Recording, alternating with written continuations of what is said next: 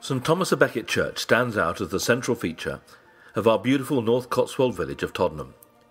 Its steeple can be seen for miles around, and it has been a place of worship since the mid 12th century.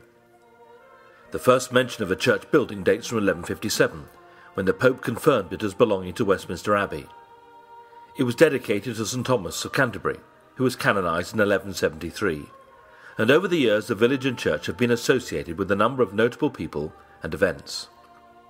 In 1404, Thomas Merks, Bishop of Carlisle, came to Todenham as rector.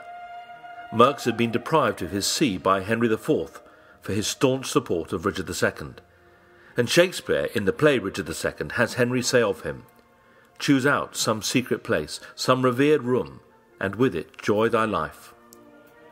Evidently Todenham fitted the bill, and there is a tradition that on his death in 1409 the bishop was buried in Todenham churchyard. Another distinguished rector was Robert Wickens, whose Concordance of the Bible was published in 1654. A lord of the manor was the Tudor Secretary of State, William Petre, tutor to George Boleyn, and survivor of four reigns. He was noted for having done great service in suppressing religious foundations. In 1783, the church and manor passed into the hands of the Van Notten Pole family, where it remained until in 1951 the estate was divided and sold off. The earliest parts of the present building are late 12th century, but the church that we see today is very different to that one.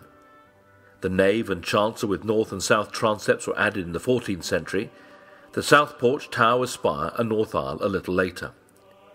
The north chapel was added, and then in 1713 the church was equipped with a ring of six bells, cast by Abraham Rudhall of Gloucester. The beautiful stained glass window was added in 1879, when there were also new pews.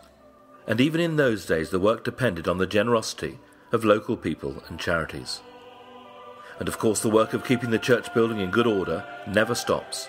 Just in the last ten years the wall by the Lich Gate has been repaired, a hole in the roof fixed, the copy of the beautiful painting Ecce Homo by the 17th century Italian artist Guido Reni has been restored, new notice boards set up, and a new path up to the church has been built. All this has been done through the generous donations of local people, often coordinated by the Friends of St Thomas of Becket. But as with all old buildings, there will be more to be done, so we're immensely grateful for all the help given by the Friends. We very much hope that you will continue to be a friend, and that we will be able to hand on to the next generation a building that continues to stand proud and is in good repair. You may have noticed above the door of the vestry there is a 17th century brass to William Moulton and his wife Millicent, with a quaint rhymed epitaph. It begins with these wonderful words Stay, passenger, this tomb doth hold a coffin full of holy mould. Our hope and prayer is that St. Thomas and Becket never becomes holy mould.